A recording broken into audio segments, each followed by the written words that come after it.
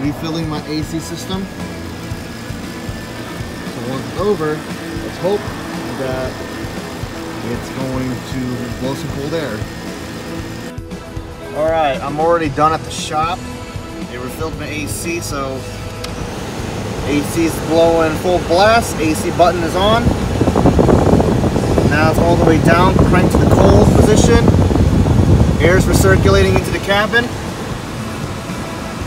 I'm averaging about 40 degrees, 39 degrees, a little bit, just a little shy of 38 degrees, but you know, so far it's doing cold. So uh, like I did, I did mention before that 15 minutes of driving, uh, this car, the AC will blow cold for the first 15 minutes, and after that's gonna, after that's gonna disappear.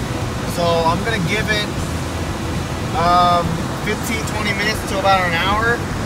Right now it is 12:05 in the afternoon, or technically, yeah. I mean, this one's a little is is accurate, but um, I'm gonna give it until one o'clock, and we'll see what happens.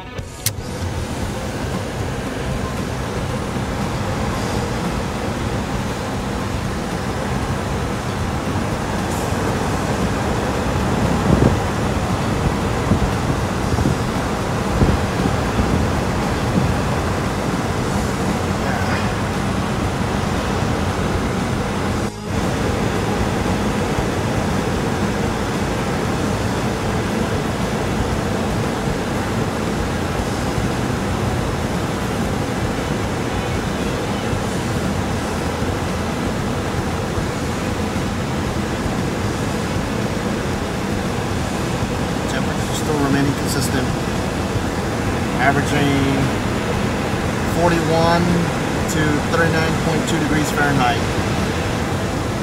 We're about to hit the half hour mark. Pretty good so far. Well, I did say around 1 o'clock that I will do that update on that. It's already 156 or that's more accurate, 155, so it's already past almost two hours already. And look at that. Let me do this real quick. There you go. Hopefully you can see that when the glare is blocking the way, but we're reading 41 degrees still. Yep, that's right. Looks like his AC is fully fixed. As I said before, I replaced the evaporator core, the expansion valve, the AC pressure switch, and also the dryer in the front. And it's still remaining constant temperature.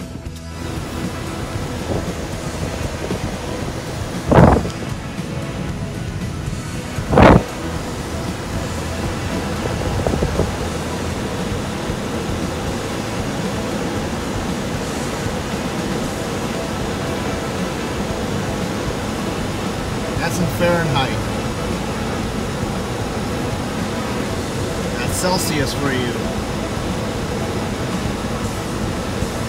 That's 7.5 degrees Celsius. It's about 42.8 degrees Fahrenheit. Yep, that's cold. Already 316 in the afternoon. See? And it's still blowing cold.